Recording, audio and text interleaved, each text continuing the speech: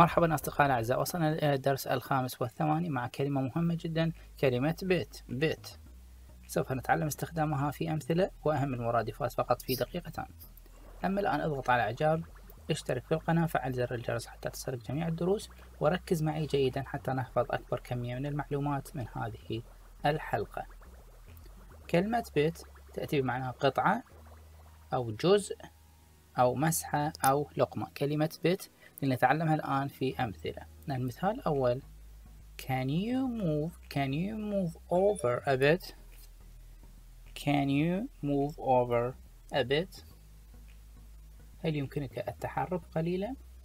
Can you move over a bit? Can you move over a bit? حاول كتابة هذه الجملة لتحفظها جيدا وكررها بصوت عالي خمس مرات حتى تتقنها بشكل جيد. نأخذ المثال الثاني. This is the best bit of the day. This is the best bit of the day. مرت علينا كلمة best سابقا في الدروس السابقة وهذه الكلمة كلمة جديدة كلمة bit. This is the best bit of the day. هذا أفضل جزء من اليوم. كررها معي الآن. This is the best bit of the day. This is the best bit of the day. ناخذ المرادفات الآن أهم المرادفات هي كلمة piece piece قطعة. Segment قطعة. Part جزء. Section تأتي بمعنى قسم أو جزء. أيضا section section.